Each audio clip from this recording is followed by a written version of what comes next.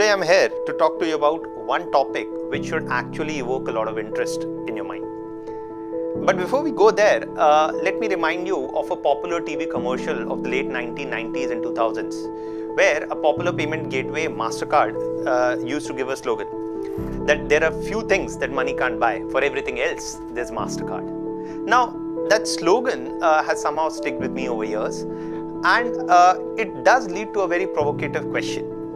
that is there something that money cannot buy in today's societies? Or more importantly should there be certain goods or services uh, that money must not be allowed to buy in a certain society or a state? Now before we go to answer such a question uh, let's let's just think about some popular or, or if i should not say popular perhaps some common activities uh, which operate in a market scenario that you may have heard about and you can tell us in the comments whether you think that there should be a market logic of buying and a buyer and a seller relationship which must be allowed to operate in such situations. Scenario first or the first scenario is of uh, people buying and selling bodily organs. So an individual, uh, you know, willing to sell one of their kidneys or one of their eyes or cornea uh, to an individual willing to buy that uh, so if, a, if an individual suffering from kidney failure is willing to buy a kidney from another individual in the market, or if an individual is blind and is willing to get their eyes replaced by buying another eye from the market. Do you think that the market logic of buying and selling must be allowed to operate in such a situation? Scenario second is a, a, a very common scenario which exists perhaps throughout the world of buying and selling sexual favors or sexual services. Now that's called prostitution in some areas and that's called uh, you know providing sexual services in another area. Do you think that the market logic of buying and selling such services should operate in the very first place? Now let me come to another third example. And that third example for example uh, is about the popular tv show which was uh, uh, there on netflix recently and that was uh, what's called a squid game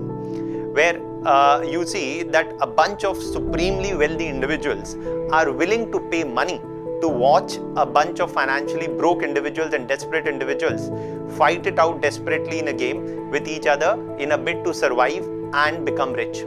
So the competitors will fight with each other, but uh, you know, uh, but the supremely rich individuals would, would simply watch, uh, would simply sit back and watch the show. Much like a, much like gladiator theme-based sports, where competitors fight amongst each other, the winner makes money, but the defeated one dies. So, do you think that people must be or should be allowed to pay for such services to watch such shows, quote unquote, reality shows in the future? Or think of another scenario. Scenario, one could say scenario number four. And that is also a very common scenario. You see world over today, the practice of commercial surrogacy is known up till a couple of years ago. In India also, there's a practice of commercial surrogacy uh, in uh, the states of Gujarat or, or, elsewhere known in India, where uh, women would rent their womb to those who wanted to have a surrogate child. And uh, uh, you know, there's also another movie uh, I think which was made recently in India by the name of Mimi, which went around the issue of surrogacy. Or you think of scenario number five,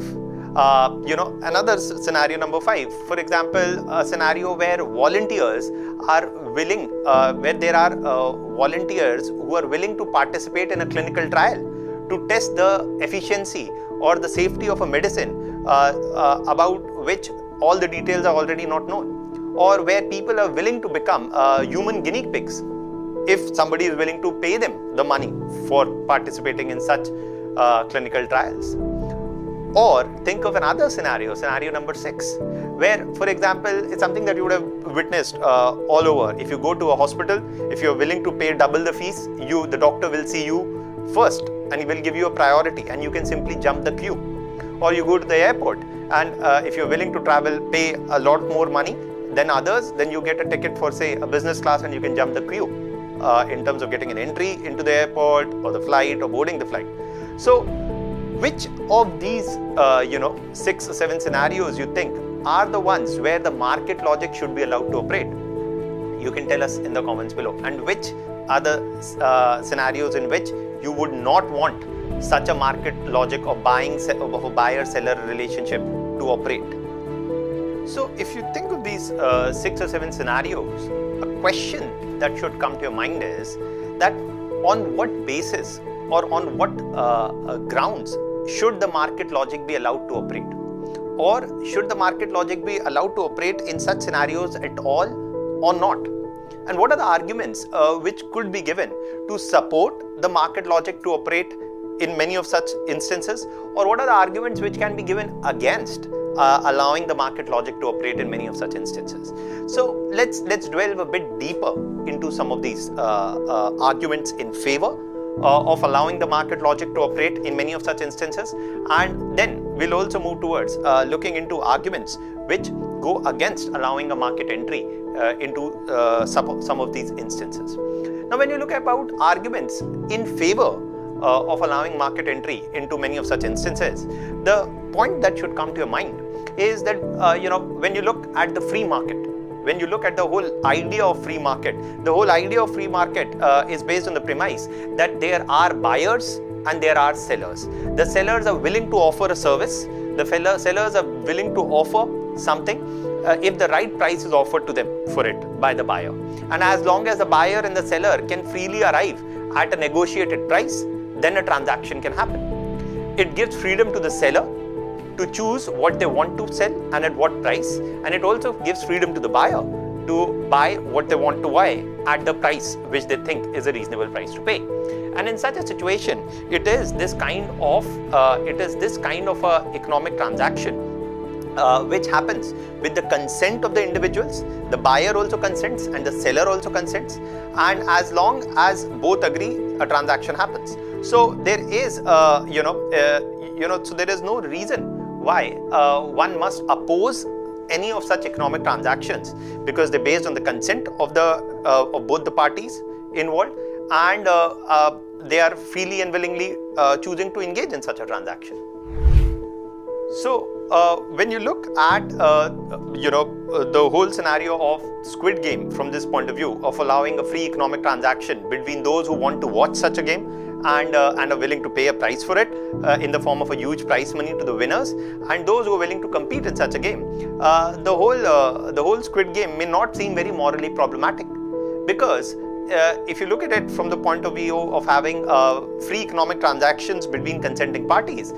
in the in the series of Squid Games, you find that the competitors who entered the Squid Game uh, gave their consent while entering into the game and gave a even written consent while entering into the game. And more importantly, that consent was not uh, meant to be only given once. In fact, the consent for participating in the game could be withdrawn by the competitors if more than 50% of the competitors agreed to withdraw from the game at any point of time.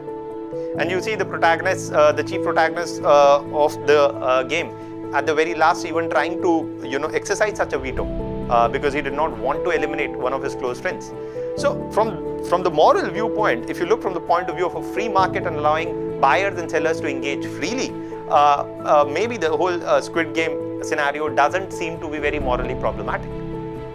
But then I'm pretty sure many of you would find out of these six and seven scenarios that I just shared with you some situations or, or uh, instances where you would not be very comfortable by allowing the market logic to operate in such situations. So, what are the arguments uh, against allowing allowing market or market logic to operate in such in some or uh, some of these situations? Say, uh, in terms of buying and selling organs, you don't find many governments allowing a free open market to exist in terms of buying and selling organs. Now, uh, uh, when you look at such a, situation uh, I'm reminded about Michael Sandel's book, uh, The Moral Limits uh, of Market What Money Can't Buy or Must Not Buy. And if you look uh, at Michael Sandel's argument, they're very profound and uh, substantive arguments. Sandel argues that uh, there are two primary reasons why we should not allow the market logic to permeate every section of our society. And uh, but before we go to Sandel's argument, let me give you a more superficial level of argument that you will see uh, being thrown around to you by your family, your friends, everybody. And uh, the argument say uh, against providing sexual services or argument against uh, you know buying or selling organs is that you will see that those who oppose such activities may simply say that uh, you know uh, we should not do organ trade because it is something it is not something that civilized societies do or uh, people may say that uh, you know one must not allow uh, or states must not allow a free buying and selling of sexual services or favors because it is against our quote unquote cultural sensibilities. Now, while such arguments are given, they are superficial arguments at best because they do not provide specific grounds or judgments on which one could actually decide whether to allow a certain activity uh, on economic logic or not. Now, Sandel argues that uh, you know we should not allow the market logic to permeate throughout the society for every kind of activity uh, and we should decide on a case by case basis whether the market logic should allow be allowed to operate in a scenario or not because of primarily two reasons and he gives two deeper moral arguments against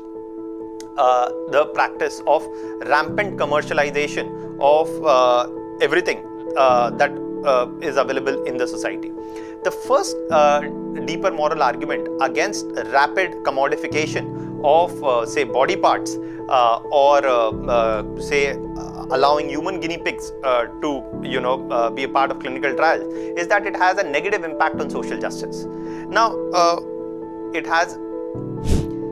so it has a negative impact on social justice in the sense that uh, uh, allowing market logic to rampantly operate in a society uh, worsens inequalities in societies. Now think of a situation where uh, if money can buy each and every service in the society, then uh, the rich who are extremely wealthy uh, will be able to buy and pay any cost for any service that they wish to buy. But what about the not so rich or the poor sections of the society? If you think of a situation like the pandemic itself, and uh, you see a situation where uh, poor people are unable to afford the high cost of hospitals, should the market logic be allowed to operate in such situations where people who cannot afford to pay extremely high amounts for uh, uh getting a bed in hospitals, should they be denied healthcare?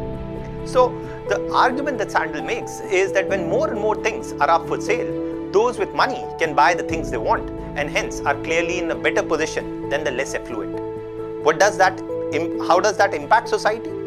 How that impacts society is that the divide between the rich and the poor grows, not just in terms of monetary terms, but more importantly in terms of solidarity in the society.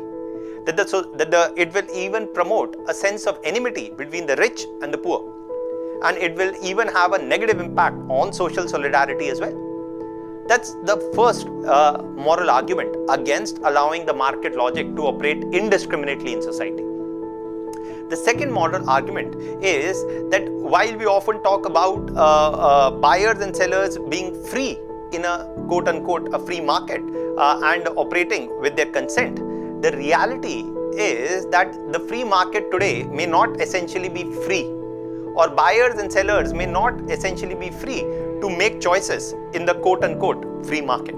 And in fact, uh, uh, many of the choices that they make, uh, or many of the choices, say a seller of organs makes, or a seller of sexual services makes, uh, or uh, uh, an individual willing to participate in a clinical trial may make, is because they are because the society is riddled with deep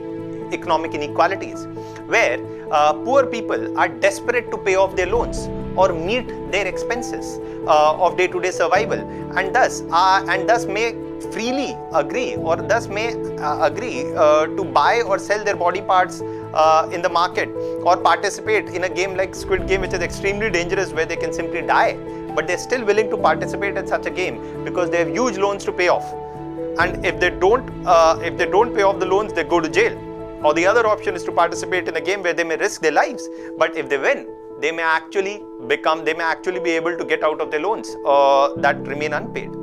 So it is in this context, uh, while it may seem that many of the times in the market, the buyer and seller are operating freely, the seller is uh, willing to sell certain services because of their because of their poor economic position in the society, and that is what may make them so desperate that they are willing to, uh, you know, say participate in clinical trials uh, or are willing to sell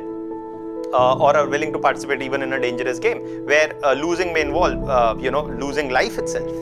So what is to be understood is that just because uh, a market exists and a buyer and seller exists, it doesn't mean that the consent of the buyer uh, or seller is not does not have an element of coercion. Sellers of such services often may be coerced directly or indirectly by visible or invisible forces to actually uh, participate in many of these risky activities or activities which may harm their bodily existence itself. but let me come back uh, to the example which may seem to be a very trivial example where uh, uh, where uh, you know uh, people are allowed to uh, you know jump a queue say in getting a service from a doctor or jumping a queue at the airport or at the railway station or you know jumping a queue for getting any service by paying an extra amount do you want uh, that uh, uh, do you want that such uh, uh, such divisions in societies must be allowed to uh, flourish where it becomes an accepted norm that if you can pay extra you can always jump a queue? Now while it may not negatively affect my bodily existence even if somebody jumps a queue it does have a negative impact on social solidarity as well. So the question then that becomes is that you know when and in which situations the market logic should be allowed to operate as I move towards the end of the video, some of you may be thinking that, you know, uh, am I trying to argue that the market logic is a flawed logic or that market thinking or logic is undesirable for societies? Well, certainly not. In fact, market thinking and logic has even benefited societies because it is a great way of matching what? The demand and supply of goods in the market and also of boosting innovation in the market. You know, as long as there is, uh, say, for example, uh, there was a demand for online streaming services during the pandemic, and that is where there were readily suppliers available also who were willing to offer such a service. Okay, or for e-learning, there was a demand, and there were willing suppliers uh, willing to offer such a service. So, do you do you allow the uh, market, or should you allow the market to operate in the very first place? Well, perhaps yes, because it allows needs of individuals to be met and also it uh, does become a, a, factor which fuels innovation perhaps directly or indirectly. And that is one of the reasons why that uh, the market logic has been one of the powerful guiders or motivators of human action. But but but perhaps there must be some things which money must not be allowed to buy in the very first place. And how we as citizens living in mature democracies uh, or in democracies as such, uh, how should we decide on uh, what criteria should we decide that uh, you know market logic may not be allowed to operate in some situations? Perhaps uh, the grounds on which uh, market logic must not be allowed to operate need to be debated extensively. And more importantly, every democracy must have a case by case analysis of each kind of debatable activity whether on each kind of debatable activity, whether you want to allow the market to operate in such a situations or not. So societies must debate whether, for example, they would want surrogacy to be a paid activity or they should not have paid surrogacy activities in the very first place. I'm not saying a yes or no, I'm just saying there needs to be a more extensive debate. Also, uh, what needs to be understood is such decisions need to be made after mature deliberation and not under the dangerous trap of what is culturally acceptable or what quote unquote civilized societies may uh, allow or not. Because uh, those who often speak at the behest of culture or quote unquote civilized societies may be the most powerful voices in the room, but may not be the most nuanced voices in the very first place as well. So, I hope that this video has given you a lot of thinking points to ponder over, and uh, you can tell us in the comments uh, below about what are the things you think where uh, or what are the commodities or what are the services you think should not be available uh, in the market by paying a fee? And what are the things and think also about it from the opposite direction what are the things which should be available in the market uh, uh providing one is willing to pay for it and finally what do you think are the principles on the which on the basis of which uh, a state or a society must decide whether to allow the market logic to enter uh, into certain situations or not. Thank you.